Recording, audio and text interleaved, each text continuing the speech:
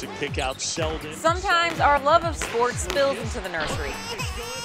Curt Schilling, for example, named his first son Gehrig after Lou Gehrig. But naming a baby after an athlete becomes even more impressive if one of the parents doesn't know about it and if there are two babies. Ian Sadler lives in Tulsa but loves his Rock Chalk Jayhawks, and after Kansas notched his 12th straight Big 12 title, he convinced his wife to name their twin boys Landon and Lucas.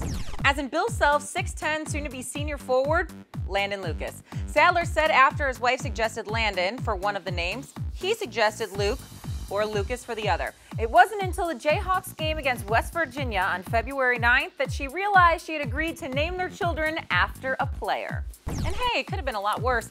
Landon Lucas sounds a lot better than, say, Bill and Self. The feed is brought to you by Cici's Pizza. Now there's more flavor to explore with three new flatbread pizzas on the unlimited buffet. Cici's better believe it.